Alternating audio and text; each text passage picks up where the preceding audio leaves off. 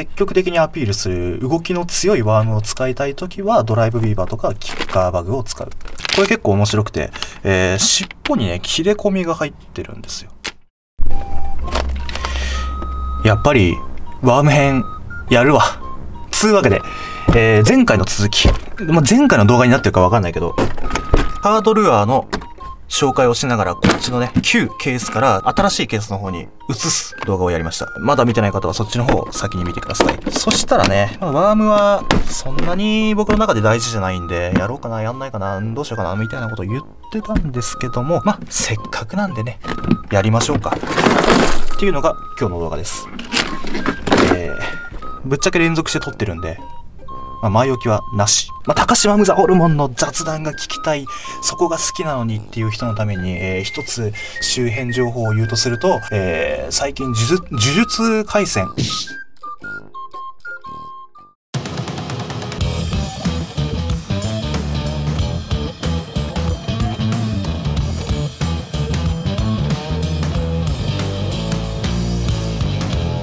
というわけで、ワーム編。えー、でね、3080。あの、開けたらね、ここにスピナベとかバズベイトのワイヤーベイトを引っ掛けるところがあった。うん、あった気がした。けど、一発目でな上に入れちゃったし、今スピナーベイト完全にボックスを分けてて、しかも今別のところにあって手元にないんで、まあ、ここはね、あのー、皆さん想像してください。あのー、僕が持ってるスピナーベイトって言っても9割は D ゾーンなので、D ゾーンがここにザーッとあります。ある。そう見えてください。なので、それ以外を行きましょうか。で、広いね、やっぱり。あの、深さも全然違う。何気に3080は初めてなんでね、実際開けてみてすごいでかくて深くて感動してます。このでかさがあるとね、こういうブリスターのやつがそのまま入るからいいよなで、皆さんご存知の通り僕は大型人間なんで、買ってきたワームをね、いちいちワームのなんかこういう別のケースに移したりとかも、そんなの絶対やんないですから。めんどくさいんでね。もう買ってきたら買ってきたまま。というわけで、今手に取ったやつからいきましょうか。ドライブビーバーね。まあ、言わずと知れたですけど、えー、僕がテキサス系で使うのは、このドライブビーバーの4インチと、キッカーバグ。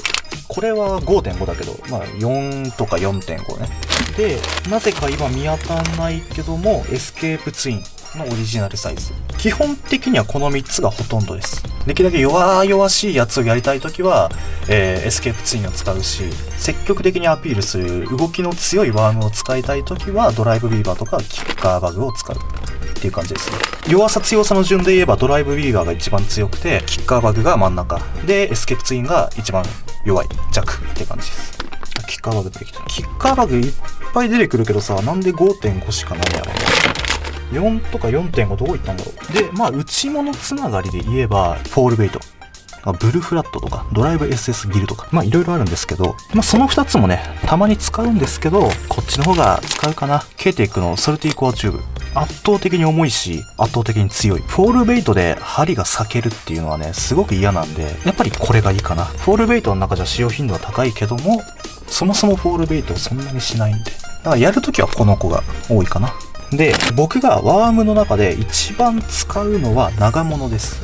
長物というかストレートワームというか、絶対にハードルアーではできないことができるっていうことで確立しているのは間違いなくストレートワームなんで、だ必然的に僕の中ではボリュームがでかいです。最近結構気に入ってるのが、この返すのね、切りかけ。これ結構面白くて、尻尾にね、切れ込みが入ってるんですよ。それが猫リグで使った時にしっかり水の抵抗を受けて、ストッパー、まあ、ミノで言えばリップみたいな、そんなね、働きをしてくれて、結構面白いアクションが出ます。それで最近面白くて使ってる切りかけ。これ2つある。これも切りかけね、同じやつ。この子は基本猫リグだし、マグナムスワンプクローラー。これは脳進化ワッキーですね。前にも、えー、動画で紹介してますけど。脳進化ワッキーは結構使うんで。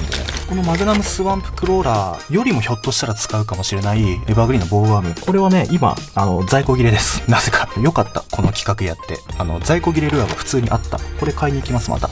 ボーワームの、まあ、5インチ、6インチが一番使うかなって感じです。ある程度やっぱり自重があって、えー、張り持ちもいい。で存在感が強い方が僕の脳進化ワッキーでは使いやすいんでやっぱり5インチ6インチがメインになってきますこれもワッキーといえばワッキーなんですけどボーワームの12インチの高浮力タイプ入らないよこれどうしよう うん、後で考えよう。高浮力じゃないやつ。これも入らないからね。あのー、僕が行くフィールド、やっぱり関西なんで、フロリダ系のバスが多いんですよ。フロリダバスっていうのは基本的にこの長物大好きなんで、ここぞっていう時にやったりします。ここぞっていう時にしかやらないですけどね。あとはボーアームの8インチとかもあって、僕が本当にチャターをやりたい時に、えー、重宝するトレーラー、ほとんどこればっかなんですけど、シャットインパクトの5インチ、しかも白。これがいい。絶対。だから僕、これはね、外せないです。で、名作。カットテール。ほぼ使わないけど。お守りみたいな。これもね、去年見つけて結構お気に入りの、カエスのイサナ、これも結構気に入ってます。匂い強烈系のやつ。なんで？カットテール。使わないけどなんで2袋入ってるの？これいらねえな。めちゃめちゃ大事な SVSB。沈む虫は結構僕の釣りの中では大事なんで、特にこの後ですね、バスが見えるようになってきてからはもう季節問わずって感じです。真冬ぐらいしか使わない時はない。スモラバでもいいんだけど、スモラバよりももっとゆっくり見せたい。もっとナチュラルに見せたい。もっと落とすだけで食わせたいっていう時は、やっぱり沈む虫かな。で、まあ HP バグであったりとか、沈む虫って各社出してはいるんですけど、僕は SV、SB かな。これが一番いいと思ってます。続きまして、スモラバのトレーラー、使用率ナンバーワン。てかもうほぼこれ。C4 シュリンプ2.8インチ。ほぼこれ。もうこれだけありゃいいと思って。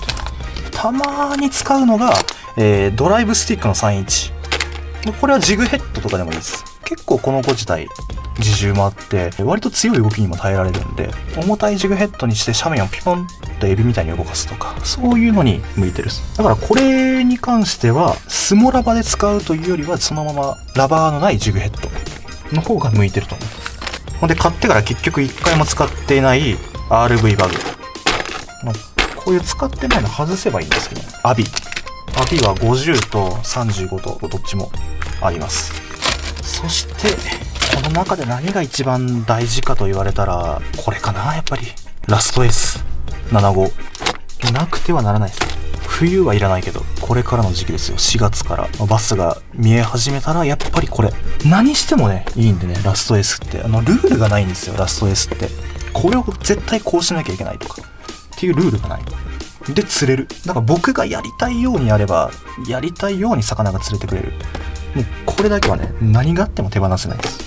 特にリザーバーのついではもう絶対いる。こんなもんかな。ワームも特にそのジグのトレーラーにするようなやつは、えー、今完全におかっぱりボックスの方に行ってるんで、まあ正直今現状はこんなもんです。まあでもね、あの、倍ぐらいになる。全部入れようとしたら。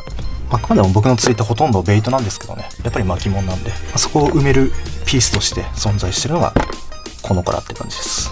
というわけで、ハードベイト編に比べてだいぶサクッといきました。僕のソフトルはこんな感じです。今後も、あ、これがいいかもしれないっていうのはガンガン試していくし、これええでってやつがあったらまた教えてください。すぐ試そうと思います。